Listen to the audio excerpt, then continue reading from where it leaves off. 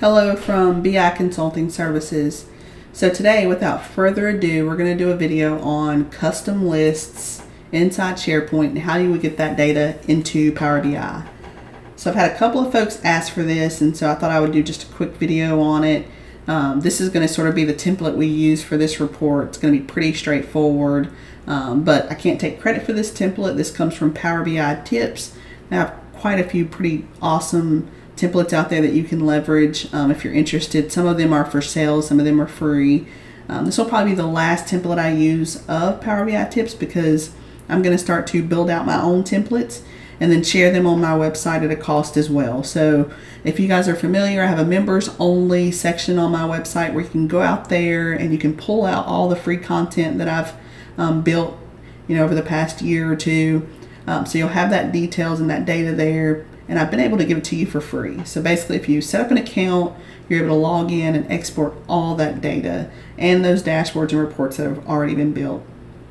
I'm sort of going to segue um, into a more of a paid approach. Uh, so you will get sort of this opportunity to grab all the members only content and the templates and sample reports for a fixed cost. So for $100, you'll be able to grab any of the reports or templates that are out there, but this will no longer be a free service. So just a heads up, the change hasn't happened yet. So if you're interested in grabbing anything that's been done so far, feel free to go out and register. I don't know the exact time frame of when I'll move it over, but I did want to give you guys a heads up as I know you're going to probably be interested in this content and other ones. So if you're watching this video, uh, go grab it as quickly as you can in hopes that you don't have to pay. But after that point, it is going to be a fee for that membership. And then you have all the content provided to you um, from that day forward on every template I build out or report um, especially on a YouTube video. All the things I put on YouTube will be there. There will be another section, sort of like a store, for you to go ahead and purchase templates that I build out over time too. So just be on the lookout for all those things. Um, hopefully you like the content. If you need something in particular, let me know. I'm happy to do that also. So without further ado, let's get into the video. So again, SharePoint lists. So just to sort of level set what I've done here, um, if you go out, if you can see sort of from my SharePoint site, I've created a custom list by just going out here to this particular location, hitting new, and just basically adding a list. Uh, I'm not going to bore you guys with creating that again, um, but these are sort of the items that are in there. So if you go to this edit button, you're going to see a title, a state, uh, contact information, basically last sales price, the sales rep. So pretty basic information around this customer. And then you want to sort of grab that data. Let's say you have several people who sort of add stuff to these lists you want to be able to grab that data and visualize it. Um, so I'm going to show you how to do that. So I've got this same exact template here, basically in clean slate. Um, so you'll notice that there is no details here. Don't worry. Um, so with this, with all the Power BI templates, this is sort of the format that they come out in with what looks like a ton of errors. Don't worry about that. Um, once you get your visuals in, it'll automatically start populating these fields. So from here, I'm going to just go and I'm going to get data. I'm going to go to SharePoint Online Lists and hit the Connect button.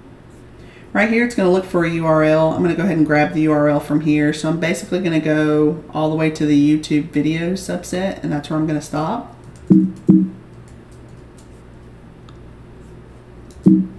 Then I'm going to paste it in. All right, so you can see basically go all the way to the location. I don't go all the way past that to the lists. Um, I'll do that once I get um, get through this in the system. It is going to request you to sign in. Um, if you haven't signed in before, I went ahead and cleared my stuff out just for you guys to be able to see this. Um, it is going to force you to sign in. Okay, then it'll say you're currently signed in, so you're all set. From here, you're going to see sort of a handful of options. The one that you care for the most is going to be the one that's basically the title of the list you created. So this is the list I created in the system. I'm going to hit the edit button. I want to go and grab select columns. There's going to be a ton of stuff in here you just don't need. Um, so for the sake of simplicity, I'm going to basically go out here and grab the fields that I need, um, which are going to be the ones I basically created for this custom list. The only one that's sort of an oddball, oddball is this one sitting in the middle. So title, state, contact, you know, last sales price essentially. and then just some other details. And so I'm going to hit the remove other columns. I'm going to close and apply.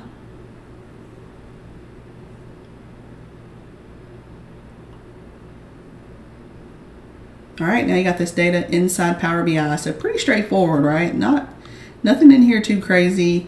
Um, I'm going to do a couple of transformations. So I'm going to change the state to an actual state. We'll change the city to an actual city.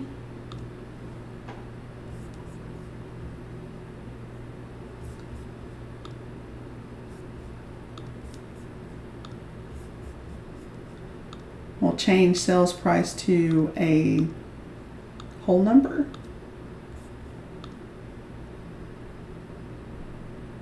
All right, I think we're set. So now we can go ahead and begin our visualizations. Uh, so the first one I'm going to put together is just going to be a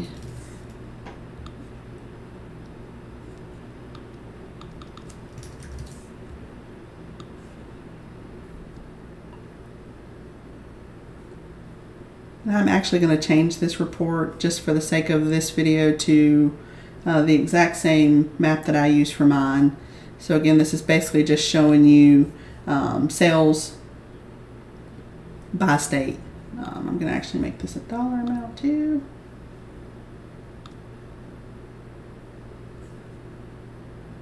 All right, so we're all set. So the larger the bubble, of course, the more sales you've generated in that particular area. So then I'm going to go ahead and put in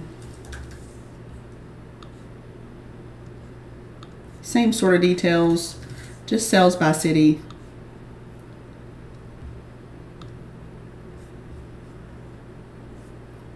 All right, perfect. Now let's just say we want to look at sort of, let's say we're going to do total sales count.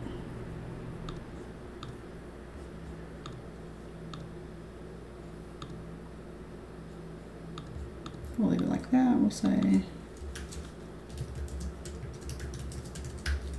total sales count.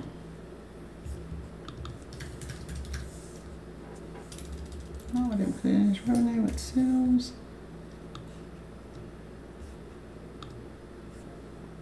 Then we'll do average of sales. So this will show us the average sales price. And then just how many states have we serviced?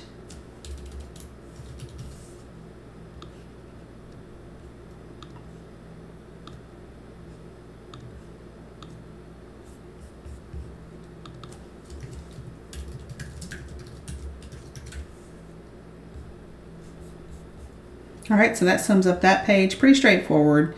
Um, so we can go through and just really quick go ahead and just do the last page as well. I like to take you guys through an entire report. So pretty straightforward, same similar information. So it's going to be sort of redundant, but just gives you an idea of how you can sort of build this report out.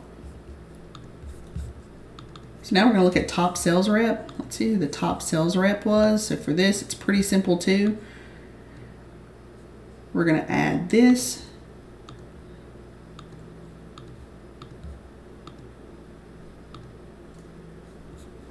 Let's grab.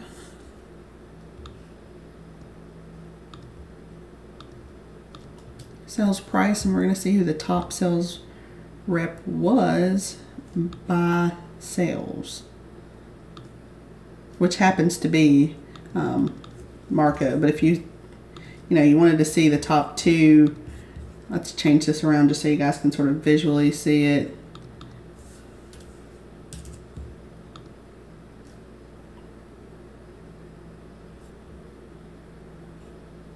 Interesting. Let's see. Let's. Oh, it's because it's on this. Don't summarize sales rep. There we go. So you can quickly see, you know, if you wanted to see the top two, clearly it's going to be Sam and Marco in this case. Um, but it's basically giving you the top sales rep. I only want to see the first, the top sales rep, the number one person who's made the most sales. Um, so it's going to be Marco in this case.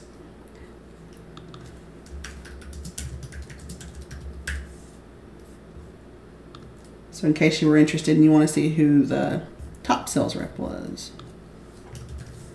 All right, let's go to ID. Let's say you want to see how many sales we've had in addition to that. So we're just going to do a count, essentially, not a distinct count, just a count of all the rows.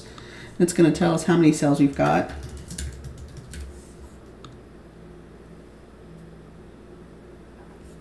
And very similar to what we did with the map, we're going to go ahead and put in sales by state.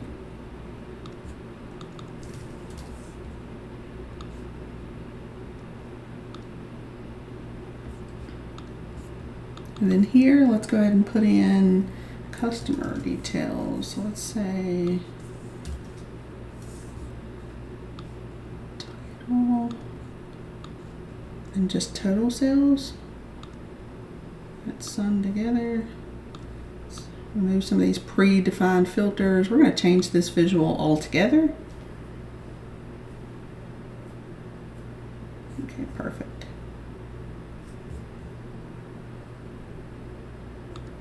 Oops. Okay, so that's basically just showing us sales um, by customer.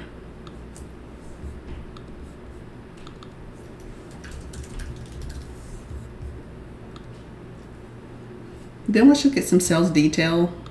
So we're going to change the title of this one. let's grab company name or customer name. Then let's look at sales. Let's remove those that field. We don't need it. Of that and that. Then we'll show a count. How many sales have we had for those particular customers? And then let's see who the sales rep was. So this is basically going to give us an entire sort of overview, just sales details. So it's going to be sales.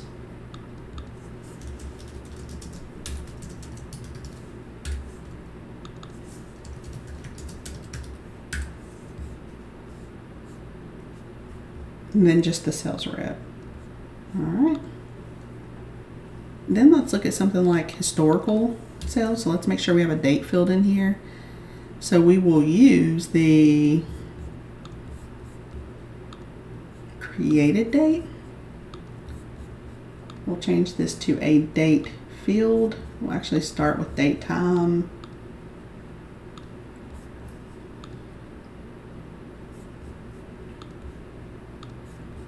Now date. Okay, perfect.